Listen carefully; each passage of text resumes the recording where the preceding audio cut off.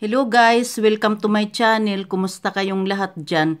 Uh, yung vlog ko nito ay gusto ko lang ipakita sa inyo na natanggap ni ni Moments and Events yung pinadala ko sa kanyang relo at saka at saka chocolates. Uh, ito yung ano niya nakay, nakalagay January 12. Hindi ko lang na i-vlog ito January 12 na ano niya na na tanggap niya sabi niya finally kabayan dumating na mismo dito sa building namin. Iba-vlog ko ito. Kabayan siguro sa Monday. Ano yung ano yung, kasi sa condo unit siya nakatira. Kaya yun yun na na ano na niya na natanggap niya na niya yung relo. Ayan. Yan sabi niya natanggap niya yung relo. At saka meron siya ditong ano eh uh, yung tungkol sa sabi niya ang ganda ng relo kabayan nung natanggalan ko na ng plastic. Alam mo kabayan ang sarap ng chocolates. Uh, walo katao kami na nakatikim, sabi niya, yun yun. Pagkatapos ito sa Facebook niya, nag-ano siya, nag-thank you. Thank you so much, vlogger Dayday Pina in Sweden. Highly appreciated po. Ayan, yung relo na natanggap niya. Pagkatapos, yung kung sino ang hindi pa nakaka dikitan ni Moments and Events, please connect to his channel. Mabait siya, mabait. Ano to siya eh, yung photographer siya ng mga artista at saka nakakakuha din ito siya ng award na ano na magaling siyang photographer. Maano siya yung uh, organic na na ano na kadikitan. Ayan. Malaki na yung bahay niya, mansion. Mansion na mansion from Forb uh, Forbes Park. Mansion na mansion. Maano siya, mabait siya na kadikitan Uh, kaya please, please, please, dikit na kayo sa kanya. Ano siya, isa sa mga isa sa mga organic friend ko. Yun.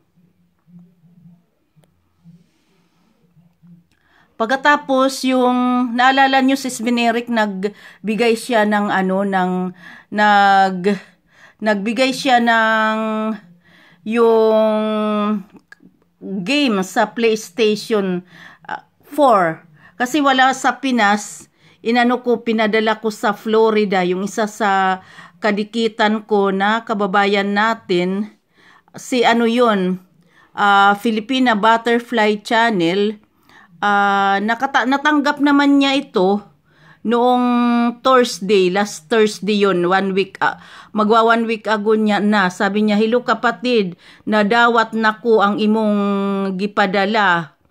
Uh, sabi niya, mag-ano daw siya ng video sa, at uh, pag, kasi nagka, nagkasakit siya, at saka, sabi niya, ka ano lang niya sa pagtrabaho nagtatra ka nung ano na yun kinabukasan yata.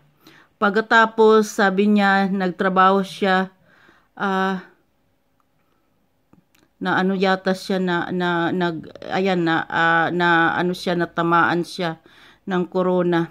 Yung ano ko rin, yung pamangkin ko rin dito, nagtatrabaho yun sa, ano, sa barko sa, yun, nagpupunta sa iba-ibang bansa, cashier siya sa duty free shop doon at saka yung restaurant. Pagkatas yung kapatid ko na nagtatrabaho sa hotel, yun din nag-ano. Ano sila eh, yung, yung anak ng kapatid ko, biro mo, isang bahay lang sila. Kasi yung kapatid ko kasi siyempre nagtatrabaho siya.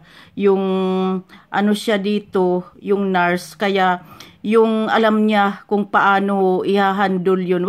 Marami na, eh, siguro awa din ng Diyos yun kasi tumutulong siya doon sa mga kapatid ko din eh, sa Pinas. Yung may mga nakaka, ano siya, nakaka, na mga pasyente niya, na mga nagko-COVID, uh, may, may mga COVID, nagtatrabaho siya sa may COVID noon. Ngayon, okay ngayon yung mga pasyente niya, walang ano, yung mga katrabaho lang niya. Ah, uh, awa ng Diyos, uh, hindi siya nahawaan. Pero nakatira sila ng anak niya, anak niya sa isang ano, sa isang condo unit. Pagkatapos uh, kasi isang kwarto lang yun eh. Doon daw siya sa kwarto, yung anak niya nasa sala. Pagkatapos tuwing punta-punta uh, ng toilet, dinidi, yung di, disinfectant kaagad inaano niya. Uh, hindi siya nahawaan kasi siguro din dahil nag-third dose siya Pfizer yung third dose, third dose niya eh. Kasi Astra, AstraZeneca siya ng, ano, ng una. Pagkatapos, yung kasi silang dalawa, yung half sister ko yun at saka yung anak ng kapatid ko na yun, ano, yung hindi pa sila nagti-third dose, kaya nakatulong din yung third dose. Ang sama daw ng naramdaman. Biro mo, buong gabi na nagsumusuka, pagtas ang sakit-sakit daw ng ulo. Kaya, kaya dapat lang talaga tayo magpaano, magpabakuna. Uh, kaya yun. Ngayon nga dito, nakikita ko noon, hindi sila nagmamask. Ngayon, ang dami na talaga ditong nagmamask. Kaya yun. Pagkatapos, uh, ano sabi niya, ayan,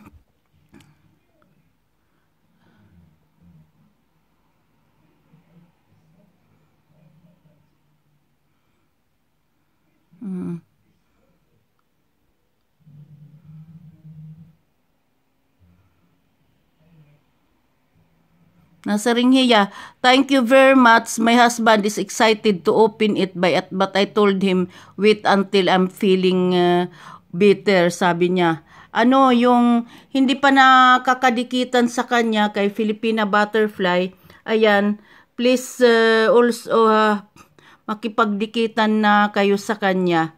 Ayan yung channel niya. Okay guys, thank you for watching. Bye-bye.